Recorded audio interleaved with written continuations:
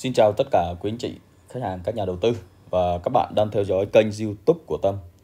Clip này sẽ giải thích cho hầu hết tất cả các cái câu hỏi anh chị về sản phẩm, về thời điểm đầu tư cũng như là cái xu hướng của một dòng sản phẩm sắp tới ở các loại ờ, bất động sản đất nền vùng ven. Thì thực tế là rất nhiều anh chị khách hàng mà liên hệ với Tâm ấy, thì trong đó có khoảng tầm 50% là các anh chị đã có những cái phương án, những cái uh, dòng sản phẩm mục tiêu của mình cũng như là đã xác định được cái tầm tiền để mình uh, bỏ ra mình đầu tư rồi. Còn uh, không ít chiếm tới khoảng hơn một nửa tức cũng khoảng đâu đó 50% là những anh chị mà đã có sẵn tiền nhưng mà chưa biết lựa chọn dòng sản phẩm nào. Và cần tâm ờ, tư vấn thêm để anh chị ờ, tham khảo để cho cái quyết định uh, cuối cùng. Thì uh, thực tế nó rất là nhiều như vậy thì tâm làm cái clip này tâm chia sẻ để mình đưa ra những cái thông tin để anh chị mình nắm qua luôn. Thì uh, từ đó anh chị sẽ có những cái nhìn chi tiết và bao quát hơn về các dòng sản phẩm ở khu vực hút xây dựng Hà Nội cũng như là các cái dự án bất động sản khác ở vùng ven anh chị nhưng mà mỗi cái dự án thì ờ, nó có những cái đặc thù riêng nha anh chị. Có những cái vị trí nó khác nhau, cũng như là những cái tiềm năng, đầu tư, cũng như pháp lý, tất cả mọi thứ, giá bán nó cũng khác nhau. Mình ờ, hình dung và mình ờ, lấy cái thông tin để mình tham khảo, mình so sánh tương quan thôi. Thì vào hút xây dựng Hà Nội thì anh chị biết là nó có rất nhiều dòng sản phẩm. Đặc trưng nhất của xây dựng Hà Nội đó chính là nhà phố và liền kề. Chỉ có một số ít là biệt thự, các lốc biệt thự mà biệt thự ở xây dựng Hà Nội là các loại à, 510 m loại diện tích khá là lớn. Còn bên hút thì dòng sản phẩm ưu tiên, dòng sản phẩm chiếm chủ đạo đó chính là nhà vườn. Nhà vườn chiếm đâu đó với cái diện tích khoảng 3 phần tư tổng diện tích anh chị. Rất là lớn. Và còn lại đó chính là một số cái sản phẩm nhà phố nhỏ nhỏ và chủ yếu là liền kề. Liền kề loại ngang 6, ngang 7. Thì ở hầu hết các clip trước thì Tâm cũng có chia sẻ qua cho anh chị. Nhưng mà clip này Tâm sẽ nói một cách nó chi tiết hơn, nhưng mà nó lại ngắn gọn hơn. Nó cô đọng hơn để anh chị ờ, mình hình dung một cách nó tổng thể và bao quát nhất. Thì đầu tiên, để lựa chọn một cái sản phẩm đầu tư thì nó phụ thuộc trước tiên là tài chính của anh chị nữa anh chị. Cái tài, tầm tài chính của anh chị mà đâu đó chỉ 1 tỷ 900 800 thì anh chị không có lựa chọn nào ngoài lựa chọn nhà phố. Ngoại trừ anh chị uh, có những cái phương án đòn bẩy vay thêm từ ngân hàng cái này thì tâm không nói. Cái đó là tùy tình hình tài chính cá nhân của anh chị nữa nó rất là là sâu. Và cái đó là mỗi anh chị khi đầu tư là mình phải tự phân tích. Hoặc đơn giản là khi anh chị đầu tư thì anh chị có thể tham vấn ý kiến của môi giới hoặc là của những người có am hiểu tài chính còn những anh chị mà có tầm tiền 2 3 tỷ thì anh chị lại có những cái lựa chọn sản phẩm mà hầu hết là đều đáp ứng được nhu cầu của anh chị.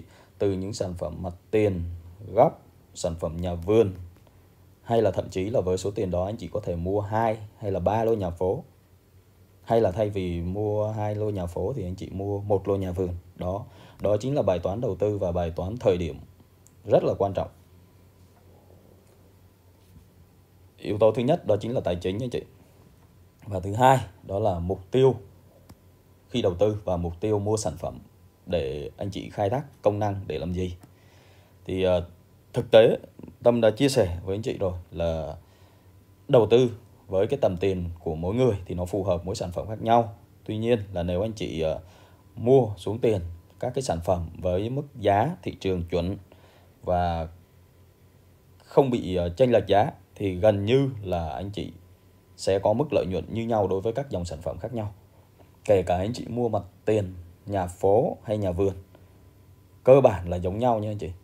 Ví dụ là anh chị mua cái khu khu vực của dự án hút xây dựng Hà Nội nó có mức tăng giá là 15% thì cơ bản hầu hết trong một khoảng thời gian cố định ví dụ là tầm nhìn bình quân mà tâm theo dõi được thì nó chỉ trong khoảng từ 3 đến 4 đến 5 tháng là các dòng sản phẩm nó sẽ cân bằng về giá ngay dù sản phẩm này chạy trước giá hay là sản phẩm kia chạy sau thì trong khoảng thời gian đâu đó dưới dưới nửa năm, mà không tới đâu anh chị, chỉ còn từ 3 4 5 tháng thôi, là các cái sản phẩm nó sẽ có cái sự cân bằng về giá.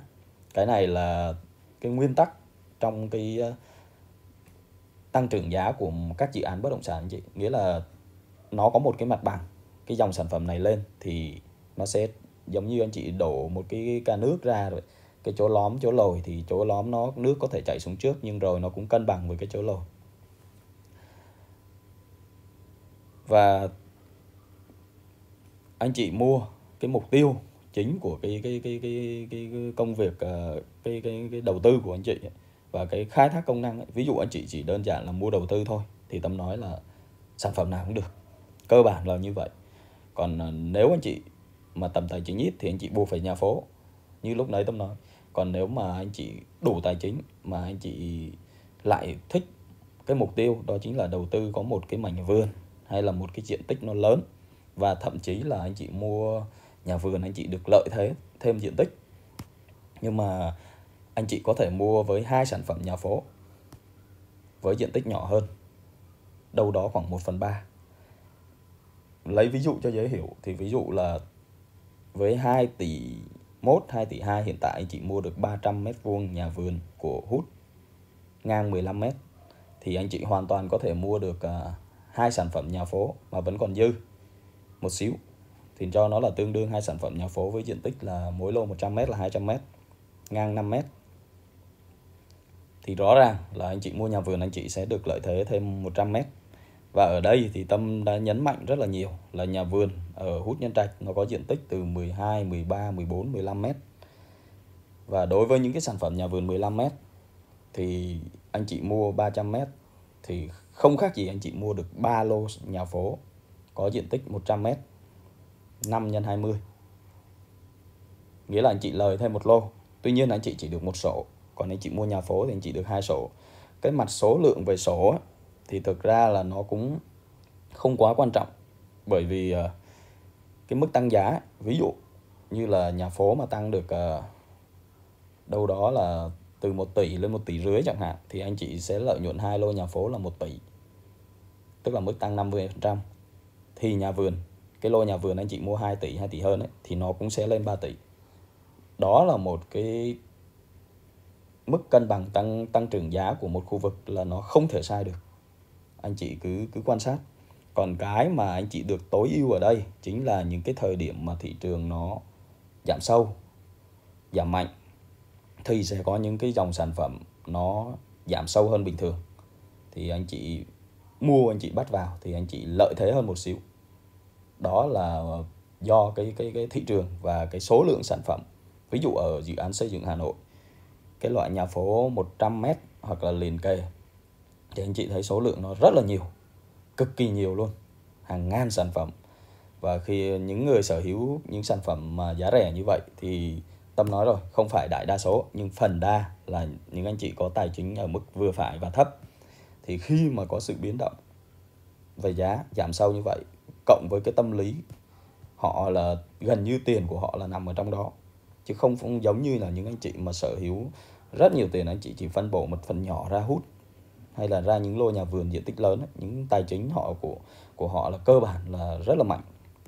Thì sẽ xảy ra cái việc mà họ bán bán tháo ở những cái thời điểm cuối 2022 cho đến đầu 2023 trong khoảng 6 tháng là cái tỷ lệ bán ra rất là nhiều và cái giá giảm rất là sâu trung bình khoảng 40% đối với các dòng sản phẩm nhà phố.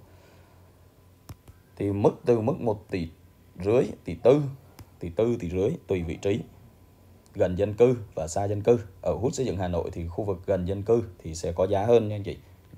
Đắt hơn đâu đó khoảng 3 4 50 triệu trên một sản phẩm.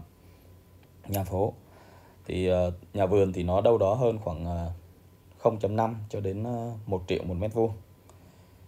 Và những cái sản phẩm đó nó giảm từ tỷ 450 tỷ rưỡi về cái mức đâu đó chỉ còn khoảng 870 đến 900 mức 900 là mức bình quân. Còn à, phổ biến là khoảng 870 870 là mức phổ biến. Còn cá biệt ngoài cái mức dòng sản phẩm hay tình à, cái số lượng sản phẩm giảm ấy cái dòng sản phẩm giảm thì anh chị còn biết là có những khách hàng những nhà đầu tư mà họ bị dí nợ bị uh, lái vay dí hàng tháng đó họ với cộng với những anh chị mà tâm lý sợ nó giảm thêm. Thực sự thì anh chị tâm nói rồi vào cái thời điểm cuối 2022 đầu 2023 thì tâm chia sẻ với anh chị là không ai đi mua cả. Chỉ có một số khách hàng đầu tư họ mới mới mới, mới nắm được họ mới đi mua thôi. Và tâm nói rồi chỉ có tâm dẫn khách tới mua thôi phần lớn. Tất cả đóng cửa im lìm văn phòng đóng cửa. Khách không thấy một cái xe nào đi vào dự án. Quy mô lớn như vậy vắng tanh luôn anh chị môi giới nghỉ việc. Thì đó là những thời điểm mà tâm lý nó có thể gọi là buông xuôi tất cả rồi anh chị nghĩa là bây giờ lúc đó thì ngay cả bản thân tâm tâm cũng không chắc rằng cái sản phẩm đó nó có giảm nữa hay không. Tâm chia sẻ với anh chị như vậy. Nhưng mà có một cái, đó chính là những khách mua ở thời điểm đó thì họ mua được những cái giá còn chiết khấu thấp hơn cả mức giảm thị trường. Thì đó là cái cơ sở để chúng ta biết rằng không tăng, không giảm, nhưng mà nó đã có một cái mức chiết khấu. Chúng ta không biết được tăng hay giảm, nhưng mà có một mức chiết khấu cực kỳ an toàn 10 15% so với mức giảm giá chung của thị trường thì gần như là những anh chị mua vào lúc đó là chỉ có cửa thắng thôi.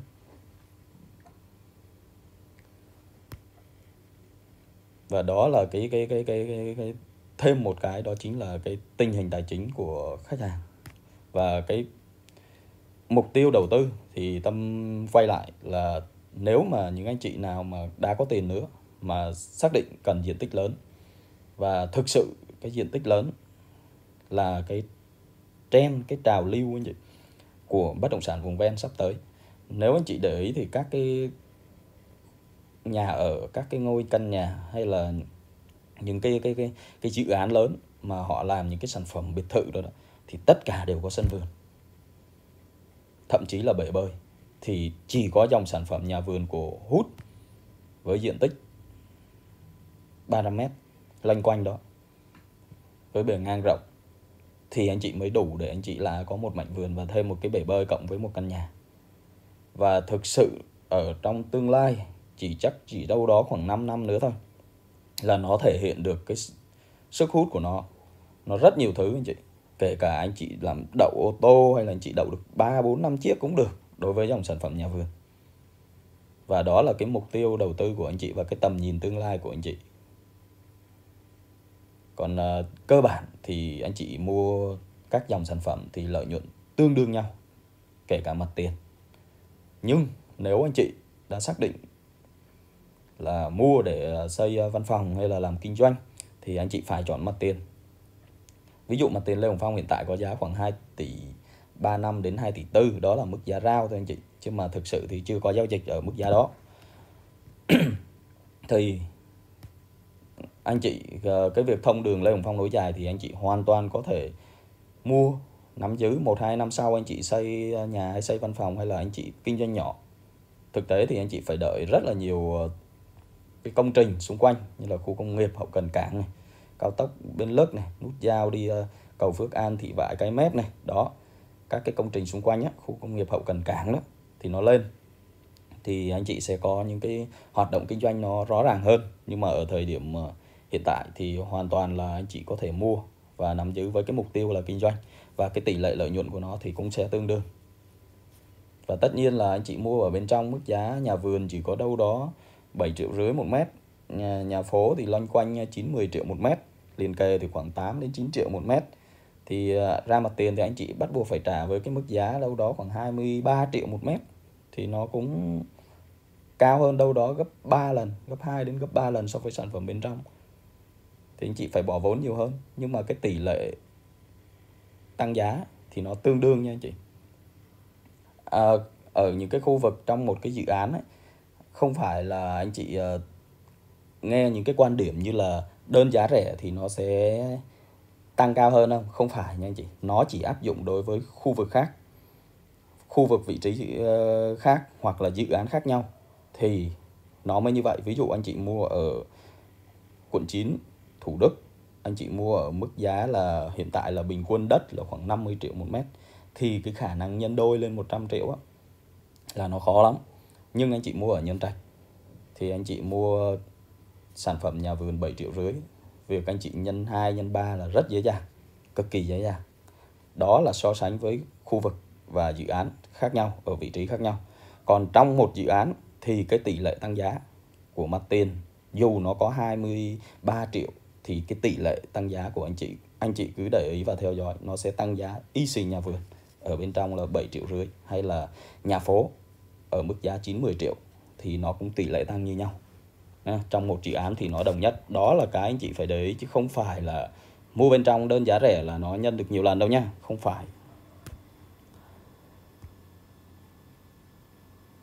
Còn nếu anh chị mà tài chính ở mức trung bình và nhu cầu của anh chị chỉ cần là một căn nhà hay là căn nhà đầu tiên ấy, thì anh chị mua những cái vị trí đất ở ở hút, xây dựng Hà Nội thì anh chị bỏ ra loanh quanh 900 tỷ.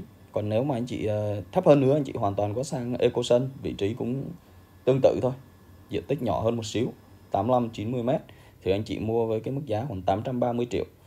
Nó cũng rất là rẻ, sổ tất cả sản phẩm này đều là sổ hồng cá nhân sang tên thì tùy tình hình và tài chính và mục tiêu đầu tư của anh chị và mục tiêu ờ, khai thác công năng và sử dụng của anh chị. Cái tiếp theo, cái thứ ba ấy mà tâm muốn nói, đó chính là cái ờ, cái thời điểm xuống tiền. Cái này rất là là hay nha anh chị. Và cụ thể ở thời điểm này tâm phân tích để cho anh chị thấy luôn.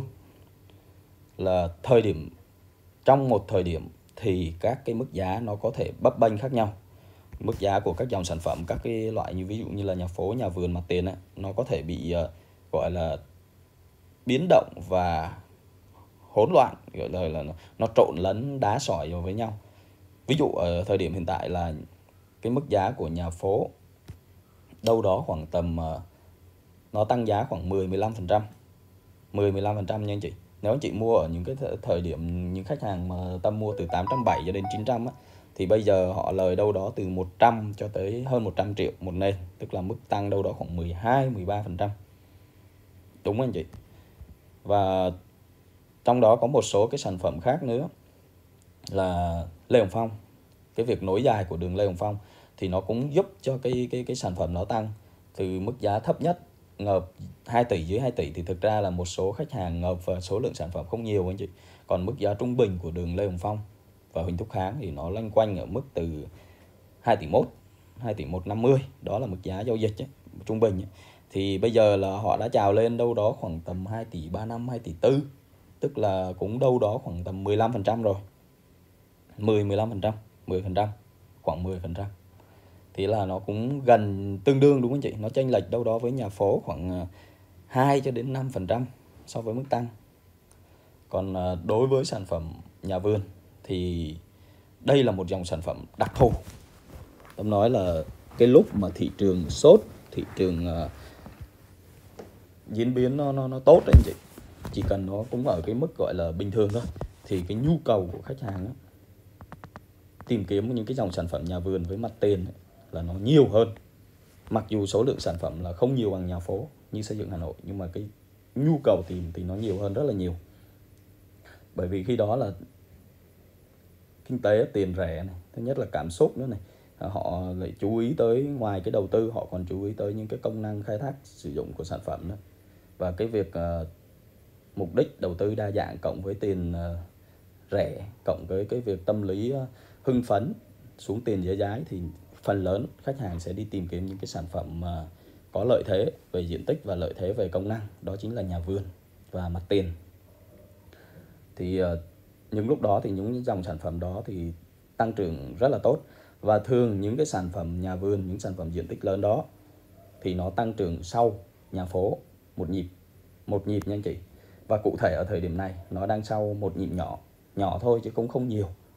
Nói để anh chị nắm bởi vì là anh chị biết là những cái sản phẩm mà nhà vườn mà ở khu dân cư ấy thời điểm đáy của nó ấy, là khoảng uh, loanh quanh khoảng à, uh, 7 triệu có thể rẻ hơn một số nền và có thể cao hơn ở một số nền. Ngay khu dân cư đông dân tức là nhóm 1, nhóm 4 anh chị thì nó đâu đó khoảng tầm à, 7 triệu. Thì bây giờ người ta đã chào lên 8 triệu trở lên. Tức là mức tăng cũng đâu đó cân bằng với à, với nhà phố với lại uh, mặt tiền đúng không ạ? Khoảng tầm 10 10 12 phần trăm gì đó hơn tí 15 nhưng những cái sản phẩm ờ, nhà vườn ở phía cuối ấy, cái khu vực mà không có dân cư ấy, thì hiện tại thì mức giá của nó chào chào lên thì từ chỉ từ khoảng cũng mức đáy thì nó cũng loanh quanh khoảng 6 triệu 8 7 triệu. Bây giờ thì vẫn đang còn ở mức giá 7 triệu rưỡi. Thì nó cũng đi kèm với cái cái cái cái cái cái cái, cái giá trị uh, sử dụng giá trị uh, anh chị nhìn về mặt cái mỹ quan thôi. Tức là nó gần dân cư thôi chứ có những người khách đầu tư thì họ cũng không quan tâm lắm. Nhưng mà rõ ràng là việc xa dân cư thì cái giá nó rẻ hơn là điều rõ ràng.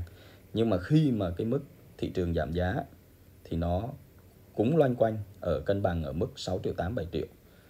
Thì vẫn cá biệt có một số sản phẩm thì bán ở mức giá 6 triệu rưỡi nhưng mà chỉ có một hai sản phẩm thôi.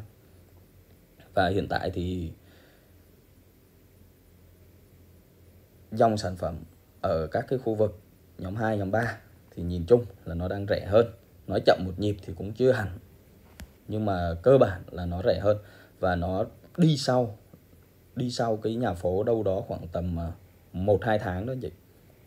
Nghĩa là nhà phố nó chạy từ à, từ khi mà bây giờ là thời điểm là cho nó là cuối tháng 2 đầu tháng 3 đi, cho thời điểm tháng 3 thì nhà phố đã bắt đầu từ tháng 12 của 2023 là nó có sự rục rịch rồi rục rịch về giá là lên đâu đó khoảng 5 10 phần trăm đó anh chị. Còn những sản phẩm nhà vườn, nếu anh chị xem clip của Tâm thì anh chị thấy lúc đó Tâm nhấn mạnh rất là nhiều là anh chị có thể mua nhập nhà vườn là những khách hàng đi đầu tư họ đang gom đó. Gom những cái dòng sản phẩm nhà vườn bởi lúc đó là nhà vườn là những cái sản phẩm mà tài chính đòi hỏi phải những nhà đầu tư mà có tài chính tương đối tốt đến tài chính mạnh thì họ mới gom được. Và khi nhà phố có sự biến động từ mức giá là 8 triệu rưỡi cho đến 9 triệu 9 triệu rưỡi. Nó đã điều chỉnh lên mức 9 triệu rưỡi 10 triệu. Nhưng mà nhà vườn lúc đó thì vẫn ở mức 6 triệu 8 7 triệu anh chị. Và thực tế thì nhà vườn cho đến ờ, thời điểm trước Tết là anh chị thấy, xem clip anh chị thấy là nó vẫn đâu đó lên quanh 7 triệu. Và điều này thì không không quá ngạc nhiên đối với những anh chị em nào mà làm môi giới ở khu vực này rõ ràng nó đi sau một nhịp. Và lúc đó những anh chị nào mà đã bỏ qua nhà phố mà tầm tài chính của anh chị ờ, tốt ấy, thì anh chị hoàn toàn có thể là mua vào nhà vườn. Là anh chị đến thời điểm này thì anh chị cũng có một cái mức tăng tương đối đâu đó khoảng ờ, 7 đến 8 triệu thì khoảng 10 đến 12 phần trăm. Tuy nhiên đó là cái mức tăng. Còn cái mức độ mà giao dịch thanh khoản ấy. Chi phí anh chị ờ, để anh chị phải bán ra ấy, nó lại là một câu chuyện khác nha anh chị, chứ không phải anh chị đếm cua trong lố là anh chị thấy nó tăng 10 15 trăm anh chị mất tao lời được 150 200 triệu hay gì đó. Không phải không phải. Anh chị bán ra rồi anh chị ờ, trả chi phí rồi nữa. Nó còn có những cái vấn đề khác nữa, thuế má nữa và thực sự thì tâm vẫn khuyên anh chị là đầu tư trong tầm nhìn trung và dài hạn. Nhấn mạnh rất là nhiều rồi. Nhấn mạnh từ cái thời điểm cuối 2022 là bắt đầu có những khách hàng của tâm là họ bắt đầu mua những cái sản phẩm ngộp ngay cả những lúc mua sản phẩm ngộp, tâm cũng nhấn mạnh là những anh chị đó không được sử dụng tài chính vay.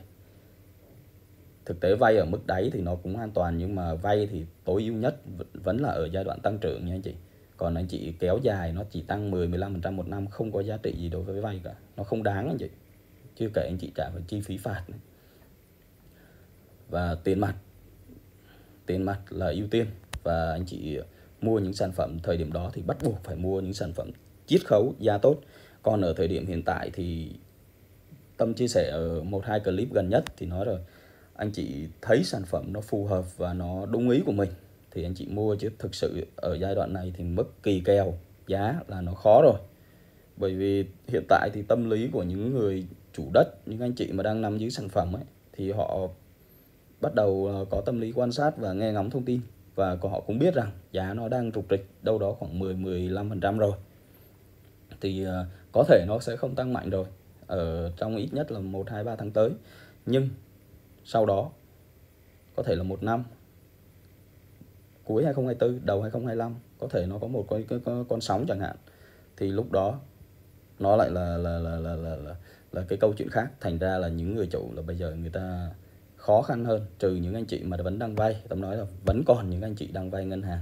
Và vẫn còn những anh chị cần bán để giải quyết công việc mà họ đã cố gắng gồng đâu đó khoảng 1 đến 1,5 năm vừa rồi. Thì họ vẫn bán thôi.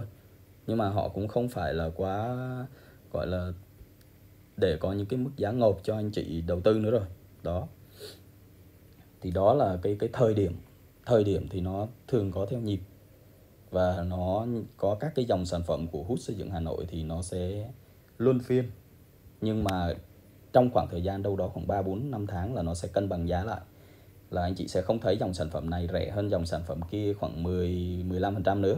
Mà nó chỉ diễn ra đâu đó là sản phẩm này chạy trước 1 2 tháng thì sau đó sản phẩm kia sẽ cân bằng. Đó.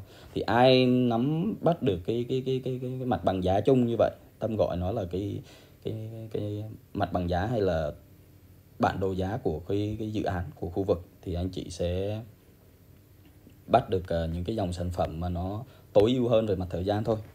Chứ thực tế thì bây giờ anh chị xuống tiền ở thời điểm này, này 6 tháng sau thì cơ bản là anh chị có lợi nhuận như nhau. Đó. Điều này thì thực tế là phải là môi giới có thâm niên và quan sát kỹ thì anh chị mới thấy được những cái cái cái cái sự biến đổi về giá như vậy. Và cái uh, cuối cùng đó chính là cái uh, phần uh, cái trường phái đầu tư. Cái này thì thực ra anh chị nhìn nó giống mục tiêu mục đích đầu tư nhưng mà nó khác. Nghĩa là nếu anh chị mà đầu tư chỉ là ngắn hạn trung hạn tâm không khuyên anh chị đầu tư ngắn hạn bởi vì thực ra anh chị bán ra lợi nhuận uh, trừ hết chi phí hiện tại ví dụ nó tăng 10 15 phần trăm thì anh chị bán chị lời được 10 phần trăm chẳng hạn. Nó không đáng gì cho với bất động sản cả. Bất động sản anh chị đầu tư là anh chị phải đợi cho nó ít nhất là 50% thứ hai là anh chị x3 hai lần đó. Tất nhiên là nó phải đi đôi với thời gian và cái việc uh, sóng và nhịp cũng như là cái các cái công trình đầu tư điểm rơi của hạ tầng điểm rơi của khu công nghiệp ở cái dự án đó nó như thế nào nữa. Cái đó thì nó muôn trùng muôn vẻ và mỗi dự án mỗi tỉnh hay là mỗi cái khu vực khác nhau thì nó hoàn toàn khác nhau. Nhưng mà cơ bản nó sẽ có những cái cái lộ trình như vậy nó chỉ khác thời gian thôi. Thì ờ, nếu anh chị đầu tư ngắn hạn và trung hạn thì anh chị nên chọn những dòng sản phẩm thanh khoản tốt. Nghĩa là ở khu vực khu xây dựng Hà, Hà Nội anh chị sẽ chọn những dòng sản phẩm mà diện tích nhỏ diện tích nhỏ hoặc là vị trí đẹp. Đó. Còn nếu mà anh chị đầu tư dài hạn 3 năm 5 năm. Thì anh chị đa dạng được dòng sản phẩm hơn anh chị chọn dòng sản phẩm nào cũng được. Kể cả những dòng sản phẩm nhỏ hay những dòng sản phẩm ở diện tích lớn được. Nhưng mà tâm nói rồi theo cái trend và cái trào lưu ấy và khi mà điểm điểm bùng nổ của thị trường ấy, thì họ sẽ tìm kiếm những cái dòng sản phẩm mang tính lợi thế cho họ. Thứ nhất là ví dụ tâm nói là nhà vườn có lợi thế về diện tích lúc đó họ sẽ cân đo đong đếm cực kỳ. Nếu mà nhà vườn mà ngang chỉ 10 mét mà dài nó 30 mét ấy, thì nó lại là câu chuyện khác. Nhưng mà nhà vườn ở hút nó là 15 mét nó tương đương với ba lô nhà phố. Thì thay vì anh chị chọn hai thì anh chị chọn ba. Lúc đó họ sẽ cân đo đong đếm và cái cảm xúc khi mua ấy, ngoài đầu tư thì người ta tính uh, đầu tư thế này là lời rồi hay là không lời cũng được. Lúc đó cảm xúc cao thì họ sẽ xuống tiền. Cái vấn đề đó không phải quan trọng. Tiếp theo đó là ngoài mua cái nhà phố nhỏ hai lô mà hai vị trí khác nhau hay là thậm chí là một cặp thì 200 mét cũng chả làm được gì. Nó nó nó cảm giác mình xây cái nhà xong nó thiếu thiếu gì đó. Còn đây là mình mua nhà vườn mình thêm được 100 mét, mình sẽ có những cái lợi thế làm thêm khu vườn hay là cái bể bơi chẳng hạn. Đó, lúc đó là anh chị thấy. Hay là anh chị mua lúc đó họ chuyển sang, cũng là 100 mét thôi. Thay vì nhà phố bên trong, họ mua mặt tiền bên ngoài thì họ thêm được cái giá trị kinh doanh thì nói là bên ngoài thì họ xây lên hay là gì đó cho thuê cũng được. Còn bên trong thì gần như anh chị mua chỉ để ở đó. Đó là những cái mà lúc đó họ sẽ phải phân tích, cân đo, đong đếm các loại. Thành ra là cơ bản những lúc thị trường mà sôi nổi, bùng nổ thì các cái dòng sản phẩm nhà vườn và mặt tiền lại được ưu tiên, ưu ái và có giá hơn. Và thực tế là khi giảm ấy, các dòng sản phẩm nhà phố nó giảm mạnh hơn, đại trà hơn. Bởi vì tâm nói rồi, tầm tài chính và cái số lượng sản phẩm nhiều thì anh chị mua anh chị có một điểm lợi thế khoảng tầm ờ, 4 đến 5% so với các dòng sản phẩm nhà vườn nhà phố à, nhà vườn và mặt tiền. Nhưng khi thị trường bùng nổ thì vì những cái cái cái cái mà tâm vừa chia sẻ đấy thì những sản phẩm mặt tiền và những sản phẩm nhà vườn nó lại có một cái lợi thế bùng nổ. Thực tế để tâm chia sẻ anh chị thấy là nhà phố lúc đỉnh điểm của những các cái khu vực nhóm 2 nhóm 3 thì nó đâu đó khoảng tỷ 450 đến 1 tỷ 5 thì tương ứng, nếu mà chuẩn thì các cái sản phẩm mặt tiền bên ngoài nó khoảng 3 tỷ. Nhưng mà thực tế là tâm lý khách hàng lúc đó họ muốn mua mặt tiền quá. Đừng Lê Hồng Phong anh chị. Nhóm 2 nhóm 3 thì nó đẩy lên đâu đó 3 tỷ 1 3 tỷ 2 tức là nó cũng có xê dịch đâu đó khoảng 4 đến 5 phần trăm. Tức là lợi thế về khi bùng nổ. Cái đó thì anh chị cân đối, anh chị luân phiên. Và điều mà không ai chia sẻ với anh chị, nếu mà anh chị đi ờ, phân tích chi tiết sản phẩm điều này thực sự là nó có lợi khi mà anh chị có tài chính và anh chị chỉ việc chọn sản phẩm ấy, thì anh chị sẽ nhắm được cái thời điểm cũng như cái dòng sản phẩm nó luân phiên. Đặc biệt là đối với những khi mà thị trường bắt đầu có sự phục hồi rõ nét và nó bùng nổ ấy, thì cái việc luân phiên hay là lướt sóng ấy, thì nó rất có tác dụng đối với cái, cái những cái phương án mà tâm vừa chia sẻ với anh chị những cái sự biến động giá. Thì đó là cái chia sẻ và những cái phân tích về sản phẩm đầu tư cũng như cái thời điểm đầu tư và cái quá trình à, tăng giá của các dòng sản phẩm. Và một cái dòng sản phẩm nó sẽ là trend của bất động sản vùng ven. Thì tâm chia sẻ là anh chị cũng nắm rồi. Nếu anh chị nào có đầu nhu cầu đầu tư cũng như ký gửi bất động sản khu vực uh, nhân trạch và đặc biệt hút xây dựng Hà Nội thì cứ inbox Zalo cho Tâm theo số điện thoại 0901 385 928 và nếu anh chị thích video này thì anh chị ủng hộ Tâm một lượt like, một lượt đăng ký. Cảm ơn anh chị.